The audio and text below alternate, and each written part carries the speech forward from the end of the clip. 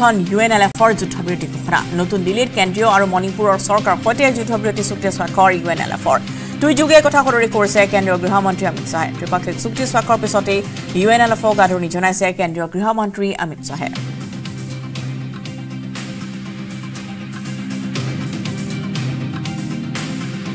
আৰু এক্সত এনেদৰে অমিত শ্বাহে আদৰণি জনাইছে।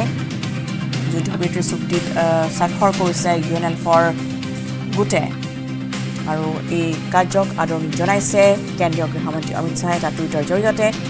ত্ৰিপাক্ষিক চুক্তি স্বাক্ষৰ পিছতে ইউ এন এলফক আদৰণি জনাইছে কেন্দ্ৰীয় গৃহমন্ত্ৰীগৰাকীয়ে। ইউ এন এল এফৰ পাম্বে গোটে এনেদৰে যুদ্ধবিৰতি চুক্তিত স্বাক্ষৰ কৰিছে।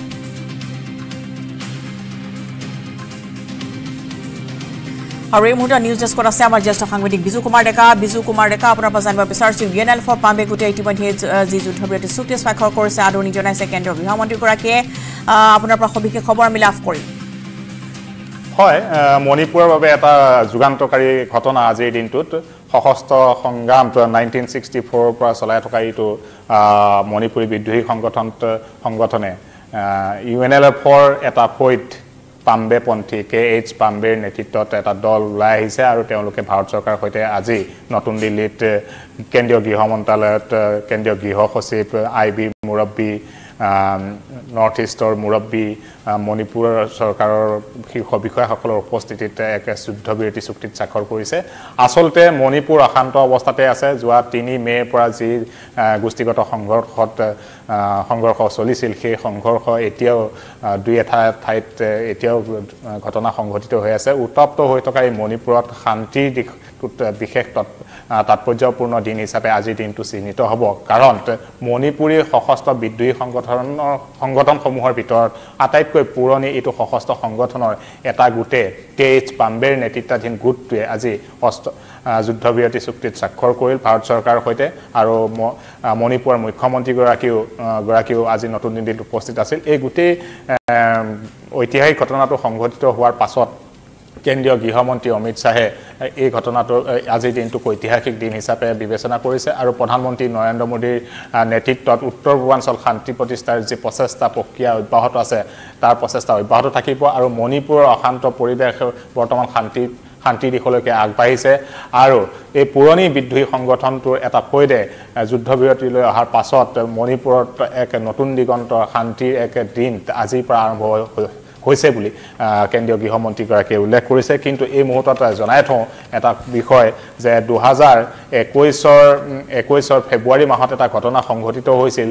ইউ এন এল এফৰ ভিতৰ চৰাত যিটো চানায়ামাৰ নেতৃত্বাধীন আছিল সেই তাহাৰি দিনত ৰাজকুমাৰ মেঘেনৰ নেতৃত্বাধীন U N L F Rajkumar মেঘান্তে N I এক গ্ৰেপ্তাৰ কৰাৰ পাছত তেওঁ দহ বছৰ সশ্ৰম কাৰাদণ্ড বিহিল আৰু তেওঁ বৰ্তমান মণিপুৰৰ ইম্ফলৰ বাসগৃহত আছে। সংগঠনটোৰ পৰা অব্যাহতি লয়। কিন্তু তাৰ পাছত দুহেজাৰ একৈছৰ এটা ঘটনা সংঘটিত হ'ল। ইউ এন এল এফ দুটা ভাগত বিভক্ত হৈ হৈ পৰে। পাম্বে কেইটছ পাম্বেক সংগঠন বিৰোধী কামত লিপ্ত থকাৰ বাবে তেওঁক বহিষ্কাৰ কৰা হয় সংগঠনটোৰ পৰা। আৰু তেওঁৰ নেতৃত্বত যিসকল দল আহে তেওঁলোকে নতুনকৈ পাম্বেপন্থী ইউ এন এল এফ গঠন কৰে। আৰু সেই পাম্বেপন্থী গোটটোৱে আজি যুদ্ধবিৰতি কৰে আৰু যোৱা চৌবিছ নৱেম্বৰৰ দিনটোত তেওঁলোকে মণিপুৰ ম্যানমাৰ সীমান্তৰ জংঘলতে তেওঁলোকে তেওঁ সংগঠনৰ সাত ঊনাষাঠিতম তেওঁলোকৰ প্ৰতিষ্ঠা দিৱস পালন কৰে আৰু সেই প্ৰতিষ্ঠা দিৱস পালন কৰাৰ দিনটোতে তেওঁলোকে ভাৰত চৰকাৰৰ সৈতে যুদ্ধবিৰতিৰ বাবে প্ৰস্তুত হৈছে বুলি ঘোষণা কৰিছিল আৰু আজি পাঁচদিন পাছত চৌবিছ তাৰিখৰ চৌবিছ নৱেম্বৰত সেই ষাঠিতম প্ৰতিষ্ঠা দিৱস পালন কৰাৰ পাছত আজি তেওঁলোকে আনুষ্ঠানিকভাৱে আহি নতুন দিল্লীত কেন্দ্ৰীয় গৃহ মন্ত্ৰালয়ৰ শীৰ্ষ বিষয়া গৃহ সচিবগৰাকীৰ উপস্থিতিত তেওঁলোকে এই চুক্তিখন স্বাক্ষৰ কৰিছে। আৰু পৰৱৰ্তী সময়ত এই ঘটনাটোৱে এই যি আজি যুদ্ধবিৰতি কৰিল তাৰ পাছত পৰৱৰ্তী পৰ্যায়ত তেওঁলোকৰ আলোচনা কেনে পৰ্যায়ত আগবাঢ়িব সেইটো লক্ষণীয় হ'ব। অসম মণিপুৰ আপুনি এটা ভাল খবৰ জনাইছে যে আচলতে যেনেধৰণে সন্ত্ৰাসজৰ হৈ আছিল মণিপুৰ আৰু শেহতীয়া ঘটনাই বা এই আত্মসমৰ্পণে কিছু পৰিমাণে মণিপুৰ শান্তি ঘূৰাই অনাৰ কথা ভাবিব পৰা যায়। বিজু আৰু যিহেতু আপুনি জনাইছে যে পৰ্যায়ক্ৰমে চিন্তা চৰ্চা কৰিব গতিকে এই সংগঠনৰ সদস্যসকলক যিহেতু মূল সুধিলে বৰ্তমান উভতি আহিছে গতিকে তেওঁলোকৰ সংস্থাপনৰ ক্ষেত্ৰত বা পৰৱৰ্তী সময়ছোৱাত মণিপুৰৰ শেহতীয়া যিসমূহ সমস্যা উদ্ভৱ হৈ আছে সেইসমূহ নিৰাময়ৰ ক্ষেত্ৰত নিশ্চয়কৈ কেন্দ্ৰীয় গৃহ মন্ত্ৰণালয়ে বিশেষ চকু ৰাখিব। নিশ্চিতকৈ পাম্বেপন্থী নেতৃত্বাধীন ইউ এন এল এফত প্ৰায় ডেৰশতকৈ অধিক বেছি নেতাকেইটাৰ আছে তেওঁলোকে ইতিমধ্যে আজি যুদ্ধবিৰতি চুক্তিত স্বাক্ষৰ কৰাৰ লগে লগে মণিপুৰ সীমান্তত তেওঁলোকে অস্ত্ৰসমূহ এটা নিৰ্দিষ্ট স্থানত তেওঁলোকে গোটাইছে আৰু তাৰ পাছত সেই সময়ত ডেজিগনেটেড কেম্পলৈকে তেওঁলোকে আহিব। তাৰ পাছত পৰ্যায়ক্ৰমে পৰৱৰ্তী সময়ত কেন্দ্ৰীয় গৃহ মন্ত্ৰালয়ৰ নেতৃত্বত বা ভাৰত চৰকাৰৰ প্ৰতিনিধি আৰু মণিপুৰ চৰকাৰৰ প্ৰতিনিধিৰ সৈতে ত্ৰিপাক্ষিকভাৱে তেওঁলোকে আলোচনা চলাই যাব আৰু এই ক্ষেত্ৰত তেওঁলোকে এক দামী দাবী চমনত নিশ্চয়কৈ সংগঠনৰ মজিয়াত প্ৰস্তুত কৰি ভাৰত চৰকাৰৰ হাতত অৰ্পণ কৰিব আৰু পৰৱৰ্তী পৰ্যায়ত আলোচনা আৰম্ভ হ'ব। ধন্যবাদ জনাইছোঁ কিন্তু তথ্য জনোৱাৰ বাবে ত্ৰিপাক্ষিক চুক্তি চক্ৰৰ পিছতেই U N L F Pambei গোটক আদৰণি কেন্দ্ৰীয় গৃহমন্ত্ৰী অমিত শ্বাহৰ এটা পুৰণি সশস্ত্ৰ বিদ্ৰোহী সংগঠন আছিল। U N L F Pambei গোট আৰু বৰ্তমান ইতিমধ্যে চুক্তি স্বাক্ষৰ পিছতেই এই সশস্ত্ৰ বিদ্ৰোহী সংগঠনটো মূল সুদলৈ উভতি অহাৰ পিছতেই আদৰণি জনাইছে কেন্দ্ৰীয় গৃহমন্ত্ৰীগৰাকীয়ে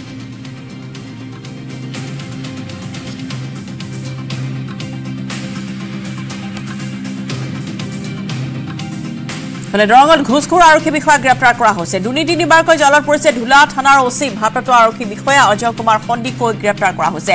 পাঁচ হাজাৰ টকা উৎকোচ লৈ গ্ৰেপ্তাৰ হ'ল অজয় কুমাৰ সন্দিকৈ। পুনৰবাৰ জনাইছো দৰঙত ঘোষখোৰ আৰক্ষী বিষয়াক গ্ৰেপ্তাৰ। দুৰ্নীতি নিবাৰকৈ জালত পৰিছে ধুলা থানাৰ অচি ভাৰপ্ৰাপ্ত আৰক্ষী বিষয়া অজয় কুমাৰ সন্দিকৈ।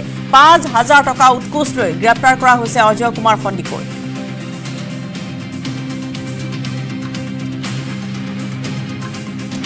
আৰু এগৰাকী চৰকাৰী বিষয়া আৰক্ষী বিষয়া গ্ৰেপ্তাৰ হৈছে দৰঙত ঘোষখোৰ আৰক্ষী বিষয়া গ্ৰেপ্তাৰ কৰা হ'ল দুৰ্নীতি নিবাৰকৰ জালত পৰিছে এগৰাকী আৰক্ষী ধূলা থানাৰ চি ভাৰপ্ৰাপ্ত আৰক্ষী বিষয়া অজয় কুমাৰ সন্দিকৈ।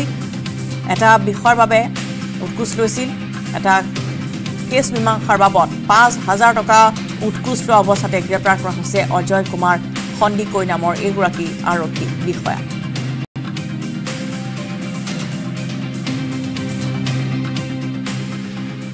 আৰু যাম তাৰ পূৰ্বে লৈছোঁ বিৰতি। ভাৰতৰ গৌৰৱ গোটেই বিশ্বতেই ইয়াৰ সন্মান ষ্ট্ৰং মানে মাইথান ষ্টীল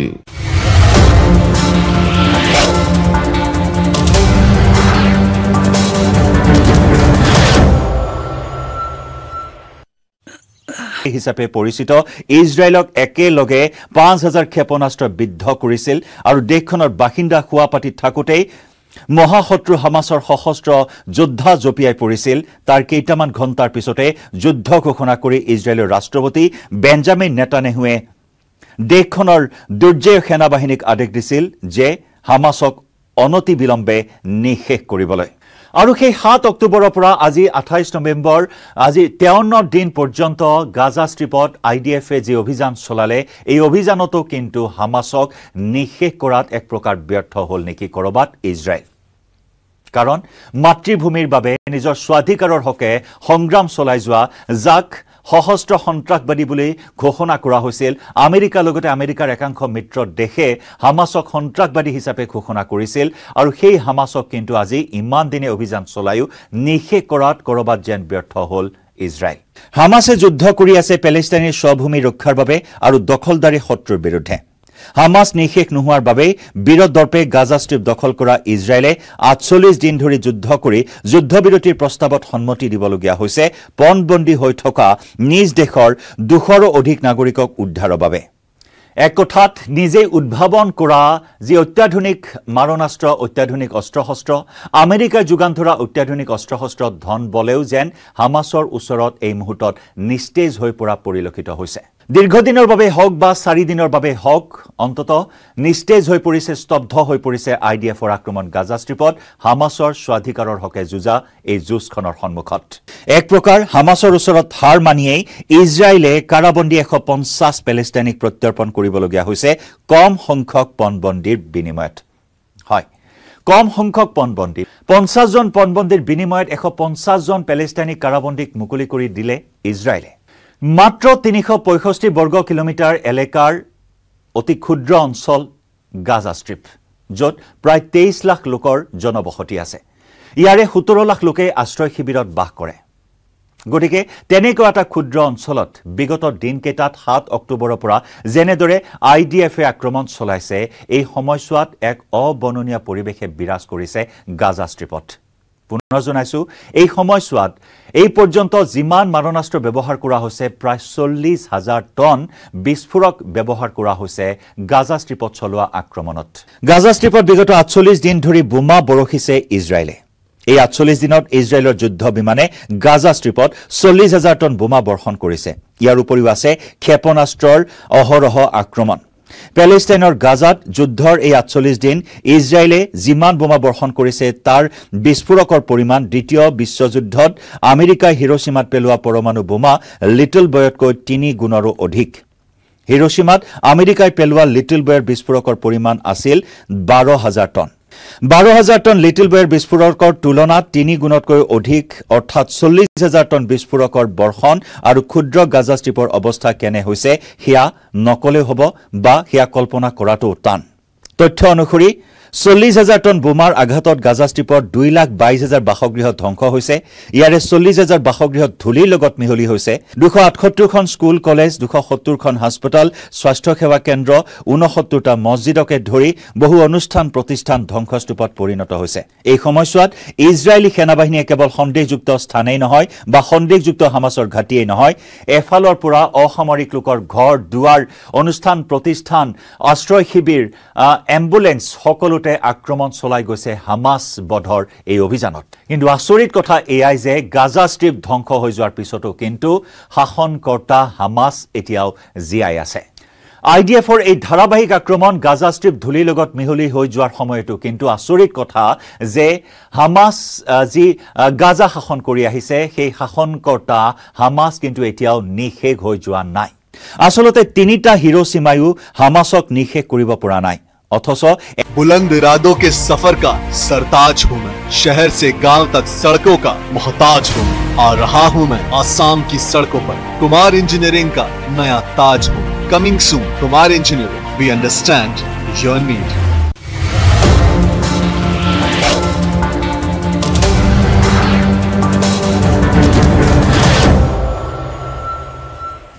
শুনিছো বাতৰিৰ মাজলৈ বকুত গ্ৰেপ্তাৰ হ'ল ঘোষখোৰ চৰকাৰী কৰ্মচাৰী। উপ পঞ্জীয়ক কাৰ্যালয়ৰ জ্যেষ্ঠ সহায়িকাক গ্ৰেপ্তাৰ কৰা হৈছে। দ্বিতীয় জ্যেষ্ঠ সহায়িকা প্ৰণীতা বৈশ্য বহৰ আলী আহমেদ নামৰ এজন মহৰীকো গ্ৰেপ্তাৰ কৰা হৈছে। উৎকোচ লৈ গ্ৰেপ্তাৰ হ'ল জ্যেষ্ঠ সহায়িকা আৰু মহৰী এজন লোকৰ পৰা দুয়োগৰাকীয়ে লৈছিল পাঁচ হাজাৰ পাঁচশ টকা ঘোষ উপ পঞ্জীয়কৰ কাৰ্যালয়ত চলিছিল দুৰ্নীতি নিবাৰকৰ অভিযান। ধৃত জ্যেষ্ঠ সহায়িকা আৰু মহৰীক মাৰাথান জেৰা অব্যাহত। পুনৰবাৰ জনাইছো বকুত গ্ৰেপ্তাৰ হ'ল ঘোষখোৰ চৰকাৰী কৰ্মচাৰী। উপ পঞ্জীয়ক কাৰ্যালয়ৰ জ্যেষ্ঠ সহায়িকা কৰা হ'ল গ্ৰেপ্তাৰ। ভিতৰত জ্যেষ্ঠ সহায়িকা প্ৰণীতা বৈশ্য মোহৰ আলী আহমেদ নামৰ এজন মহৰীকো গ্ৰেপ্তাৰ কৰা হৈছে। উৎকোচ লৈ গ্ৰেপ্তাৰ হৈছে জ্যেষ্ঠ সহায়িকা আৰু মহৰী। এজন লোকৰ পৰা দুয়োগৰাকী লৈছিল পাঁচ হাজাৰ পাঁচশ টকাৰ ঘোষ উপ পঞ্জীয়কৰ কাৰ্যালয়ত চলিছিল দুৰ্নীতি নিবাৰকৰ অভিযান। ধৃত জ্যেষ্ঠ সহায়িকা আৰু মহৰীক মাৰাথান জেৰা অব্যাহত।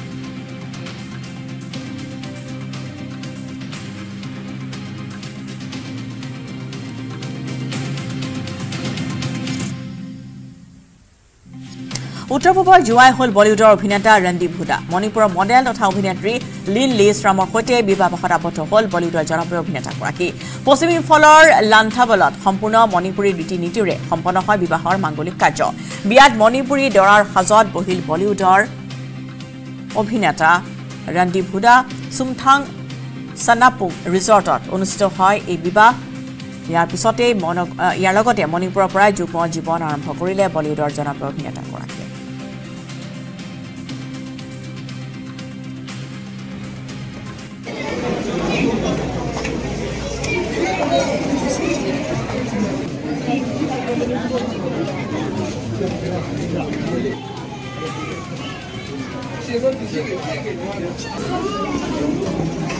얼마나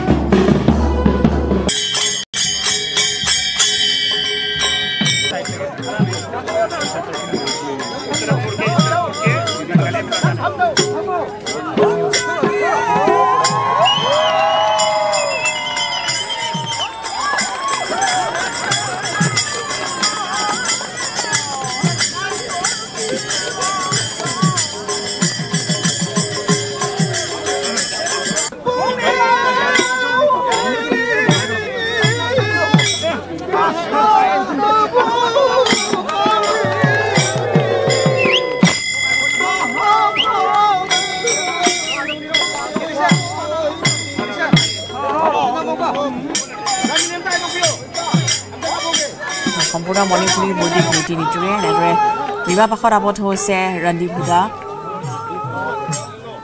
লিন লিষ্ট্ৰেম মণিপুৰৰ এগৰাকী সুন্দৰী ৰমণী বলিউডৰ অভিনেতাগৰাকী মুম্বাইত কৰ্ম কৰ্মসূত্ৰে দুয়োগৰাকী মুম্বাইতে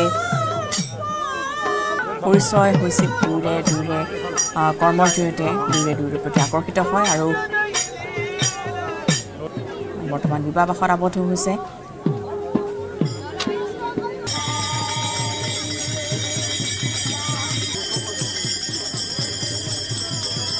ইয়াৰ পিছতেই মুম্বাইলৈ তেওঁলোকে উৰা মাৰিব আৰু মুম্বাইত আন এক অভ্যৰ্থনা অনুষ্ঠানৰ আয়োজন কৰা হৈছে। সাতাইছ নৱেম্বৰত মুম্বাইৰ পৰা আহি মণিপুৰত উপস্থিত হৈছিলহি ৰণদীপ হুদা আৰু কিছুদিনৰ পূৰ্বে ৰণদীপ হুদাই ছ'চিয়েল মাধ্যমৰ জৰিয়তে সামাজিক মাধ্যমৰ এক্সৰ জৰিয়তে তেওঁলোকৰ এই সম্বন্ধৰ কথা ৰাজহুৱা কৰিছিল।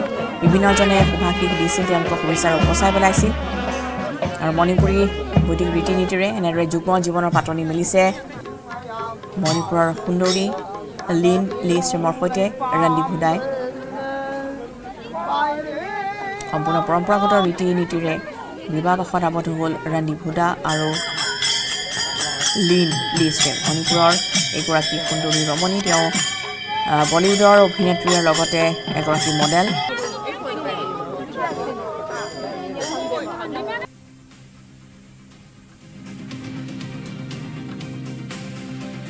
বিয়াৰ পূৰ্বে এনেদৰে মণিপুৰী দৰাৰ সাজত দেখিবলৈ পোৱা গ'ল বলিউডৰ অভিনেতা ৰণদীপ হুদাক লিন লি ষ্ট্ৰীমৰ সৈতে ৰণদীপৰ যুগ্ম জীৱনৰ আজিৰ পৰা আৰম্ভণি। মণিপুৰৰ জোঁৱাই উত্তৰ পূবৰ জোঁৱাই হ'ল ৰণদীপ হুদা বলিউডৰ অভিনেতা ৰণদীপ হুদাৰ এয়া মণিপুৰী দৰাৰ সাজত দেখিবলৈ পোৱা গৈছে আজি দিনটোত। সাতাইছ নৱেম্বৰত মণিপুৰত আহি উপস্থিত হৈছেহি ৰণদীপ হুদা আৰু আজিৰ দিনটোত বিয়াৰ কিছু আলোকচিত্ৰ নিউজ এইটিন অসম নৰ্থ ইষ্টত এক্সক্লুচিভ দৃশ্যাংশ আমি দেখুৱাইছোঁ এক্সক্লুচিভ কেইকোপমান আলোকচিত্ৰ আৰু পিছতে তেওঁলোকে যাব মুম্বাইলৈ মুম্বাইত অভ্যৰ্থনাৰ আয়োজন কৰা হৈছে আৰু মণিপুৰত আজি ৰণদীপ হুদাৰ বিবাহৰ এই অনুষ্ঠান অনুষ্ঠিত হৈ গৈছে are totally excited and plus we have all these uh, good feelings that uh, even when we are having uh, very uh, hard time with the violence hit areas where uh, we should also thank we should show our gratitude to the uh, Randeep Huda's families, their parents, all their uh, near and dear ones who has came down here to Imphal to witness the wedding, which we should really appreciate and encourage them because uh, many of them these days, because of that effect, people they have started. Uh, they, they, they really uh, diverted their uh, plan to visit to North especially to Manipur. Uh, before she's an actor and Maitai Chanu, she's my childhood friend. We studied in the same school together and um, my close friend, I'm, I'm really emotional. My close closest friend is getting married today to the love of our life. From Nizam Super Prime Ramizam Lusuan in the bureau.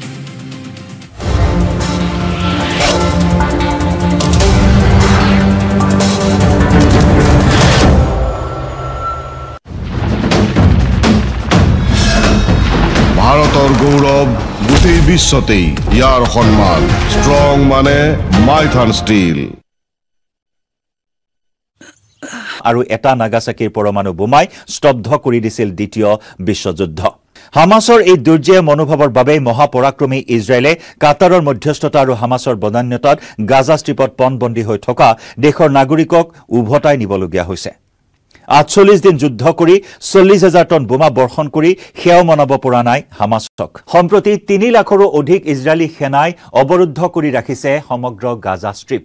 ভয়ংকৰ মাৰণাস্ত্ৰ tank গোলা বাৰুদ লৈ সেই ক্ষুদ্ৰ অঞ্চলটো বিগত এমাহ ধৰি নিজৰ দখলত ৰাখিও ইজৰাইলে হামাছৰ কবলৰ পৰা দুই শতাধিক পণবন্দীক উদ্ধাৰ কৰিব নোৱাৰাটো যেন পৰম এটা বিস্ময় হৈ ৰ'ল। আৰু তাতোকৈ ডাঙৰ কথা যে পঞ্চাছজন পণবন্দীৰ বিনিময়ত হামাছে এশ পঞ্চাছজন পেলেষ্টাইনী কাৰাবন্দীক মুকলি কৰি আনিবলৈ যি ধৰণৰ দৰদাম কৰিলে সেই কথাই প্ৰমাণিত কৰিলে যে হামাছ নিশেষ হৈ যোৱা নাই। তাৎপৰ্যপূৰ্ণ কথাটো হ'ল কেৱল ইজৰাইলৰ আক্ৰমণ বন্ধ বা যুদ্ধবিৰতিৰ বিনিময়ত হামাছে পঞ্চাছ পণবন্দীক মুক্তি দিবলৈ সন্মত হোৱা নাই। সন্মত হৈছে ইজৰাইলৰ কাৰাগাৰত বন্দী হৈ থকা এশ পঞ্চাছজন পেলেষ্টাইনী নাগৰিকক মুক্তিৰ বিনিময়তহে। এই পৰ্যন্ত হামাছে এশ সোতৰজন পেলেষ্টাইনী বন্দীৰ বিনিময়ত মুক্তি কৰি দিছে একচল্লিছজন পণবন্দী। চুক্তি অনুসৰি পুনৰ বাকী নজন পণবন্দী আৰু ইজৰাইলে তেত্ৰিশজন বন্দীক মুকলি কৰি দিয়াৰ কথা। মধ্যস্থতাকাৰী কাটাৰে ইজৰাইল আৰু হামাছৰ সৈতে বাৰ্তালাপ চলাই আছে আৰু তাৰ ভিতৰত শেহতীয়াকৈ পুনৰ আন দুদিনৰ যুদ্ধবিৰতিৰ ম্যাদ বৃদ্ধি কৰা হৈছে। উল্লেখযোগ্য যে চল্লিছ হাজাৰ সশস্ত্ৰ হামাছৰ যোদ্ধাই নিজকে স্বাধীনতা সেনানী বুলি গৌৰৱ কৰি আহিছে আৰু নিজৰ ভূমিৰ অধিকাৰৰ বাবে লগতে শত্ৰুৰ যি নিৰ্যাতন শত্ৰুৰ যি অত্যাচাৰ তাৰ পৰা মুক্ত হ'বৰ বাবে এই সংগ্ৰাম অব্যাহত ৰাখিছে আৰু তাৰে পৰিণতিত সাত অক্টোবৰত সেই যি আক্ৰমণৰ ঘটনা সংঘটিত হ'ল যুদ্ধৰ সূচনা হ'ল আৰু তাৰ পিছত এই এটা পৰিস্থিতি যি পৰিস্থিতিত এতিয়া এক প্ৰকাৰ চৰ্চা চলিছে যে হামাছ নহয় ইজৰাইলেহে হামাছৰ ওচৰত শিৰ নত কৰিলে নেকি বা সেয়াও মানিবলৈ বাধ্য হ'ল নেকি? গাজা ষ্ট্ৰীপ ধ্বংস হৈ গ'ল কিন্তু নিশেষ হোৱা নাই এতিয়াও হামাছ। হামাছ উৎখাতৰ অভিযান অনাগত সময়ত কেনেদৰে আগবঢ়াই নিয়ে? ইজৰাইলে সেয়া হ'ব লক্ষণীয়।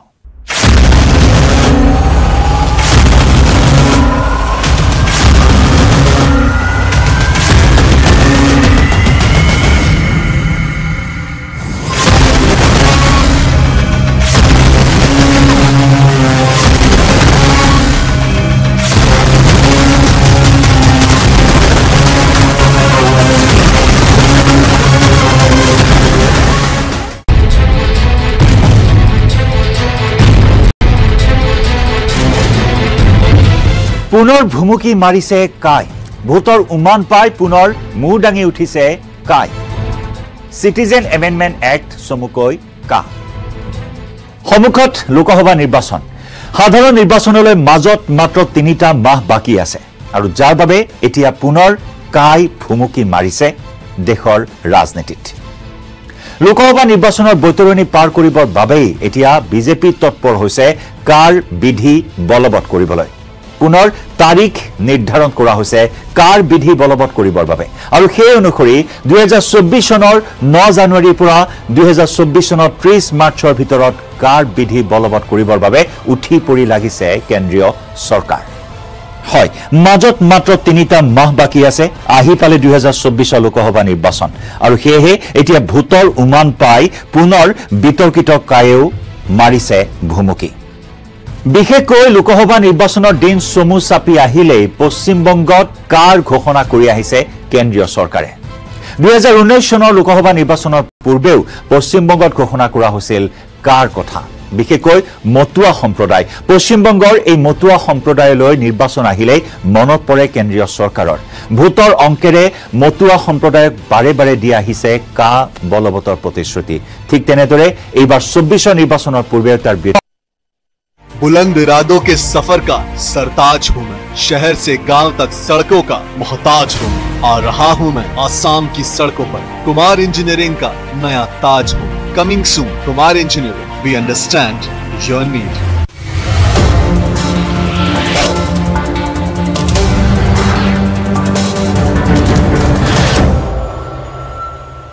চাইছে ছুপাৰ প্ৰাইম এইটিন বোকাজানত এক ভয়ংকৰ পথ দুৰ্ঘটনা। পথ দুৰ্ঘটনাত মহিলাসহ থিতাতে দুজনৰ মৃত্যু হৈছে। ট্ৰাক আৰু এল্টো বাহনৰ মাজত মুখামুখি সংঘৰ্ষ। দুৰ্ঘটনাত নিহত হৈছে এল্টোৰ চালক আৰু এগৰাকী মহিলা। ভয়ংকৰ এই দুৰ্ঘটনাত আহত হৈছে আন এগৰাকী মহিলা। আহত মহিলাগৰাকীক সংকটজনক অৱস্থাত হস্পিটেলত ভৰ্তি কৰা হৈছে। আহত মহিলাগৰাকীক ডিমাপুৰ হস্পিটেললৈ প্ৰেৰণ কৰা হৈছে। ট্ৰাক আৰু অল্টো বাহনৰ মাজত মুখামুখি সংঘৰ্ষৰ ফলতেই সংঘটিত হৈছে এই দুৰ্ঘটনাটি। খাকৰা জানৰ ঊনচল্লিছ নম্বৰ ৰাষ্ট্ৰীয় ঘাইপথত এই দুৰ্ঘটনা সংঘটিত হয়। বোকাজানৰ পৰা গোলাঘাট অভিমুখী আছিল অল্টোখন দুৰ্ঘটনাগ্ৰস্ত অল্টোখনৰ নম্বৰ হৈছে N L zero' six C two six nine eight. দুৰ্ঘটনাগ্ৰস্ত ট্ৰাকখনৰ নম্বৰ হৈছে N L zero' one A E four three seven three.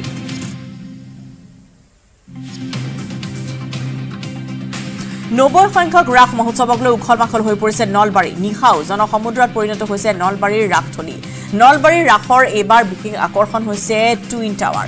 Nalbari বাণিজ্য মেলাৰ বাকৰিত নিৰ্মাণ কৰা হৈছে টুইন টাৱাৰৰ আৰ্হি। প্ৰতি বছৰে কাৰিকৰী প্ৰযুক্তিৰে চমক দি আহিছে নলবাৰী ৰাস কমিটিয়ে। ইফালে আধ্যাত্মিকতাৰ সমান্তৰালভাৱে বিভিন্ন মনোৰঞ্জন ধৰ্মী অনুষ্ঠানে আকৰ্ষণ কৰিছে সকলোকে।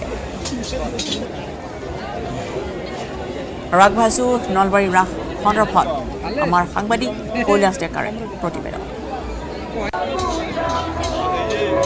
নব্বৈতম নলবাৰী ৰাস মহোৎসৱত এতিয়া সকলোৰে দৃষ্টি কাঢ়িছে টুইন টাৱাৰে আৰু সুদূৰত অৱস্থিত এই টুইন টাৱাৰ আৰু টুইন টাৱাৰ এইবেলি নলবাৰীৰ যি নব্বৈতম নলবাৰী ৰাস মহোৎসৱ আৰু ৰাস মহোৎসৱত যি বাণিজ্য মেলাত আচলতে এটা সুন্দৰ ৰূপত ইয়াত স্থাপন কৰা হৈছে। আৰু সেই টুইন টাৱাৰটো এতিয়া প্ৰতিগৰাকী ৰাগযাত্ৰীৰ দৃষ্টি আকৰ্ষণ কৰা পৰিলক্ষিত হৈছে। সহযোগে প্ৰথমে পৰিৱেশটো দেখুৱাব। এয়া হৈছে যে সুদূৰত অৱস্থিত যি টুইন টাৱাৰ আৰু টুইন টাৱাৰটো এতিয়া যিহেতু নলবাৰী ৰাস মহোৎসৱৰ এইবেলি সকলোৰে দৃষ্টি কাঢ়িছে আৰু এক সুন্দৰ আলোকেৰে এতিয়া এই টুইন টাৱাৰটো সজাই পৰাই তুলিছে। আৰু যাৰ বাবে প্ৰতিগৰাকী যি যি ৰাগযাত্ৰী আৰু প্ৰতিগৰাকী ৰাগযাত্ৰীক এতিয়া আহ, এক আকৰ্ষণৰ কেন্দ্ৰবিন্দু হৈ পৰা পৰিলক্ষিত হৈছে। মই টুইন টাৱাৰটোৰ দৃশ্য দেখুৱাবলৈ আহ্বান জনাইছো সহযোগীক আৰু যিহেতু এই টুইন টাৱাৰটোত যি নলবাৰী ৰাস মহোৎসৱৰ প্ৰতিটো দিনত এতিয়া প্ৰতিগৰাকী ভক্তই এবাৰলৈ আহিলৈ আহি এই স্থানত উপস্থিত হৈছে আৰু প্ৰতিগৰাকী ভক্তই আচলতে এই টুইন টাৱাৰটো নিজৰ মোবাইলত আবদ্ধ কৰি ৰখাৰ এক চেষ্টা চলাইছে। প্ৰতিগৰাকী যি ভক্তই আহি টুইন টাৱাৰৰ সন্মুখত চেলফি উঠা পৰিলক্ষিত হৈছে। আমি কথা পাতিবলৈ চেষ্টা কৰিম তাৰ লগে লগে